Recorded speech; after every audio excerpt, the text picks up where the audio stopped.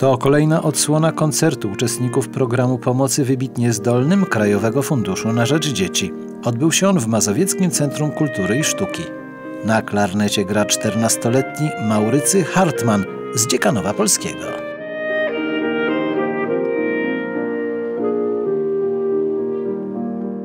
Maurycy Hartman, mimo młodego wieku, jest laureatem ogólnopolskich i międzynarodowych konkursów. Gra sonatę Kamila Sansensa.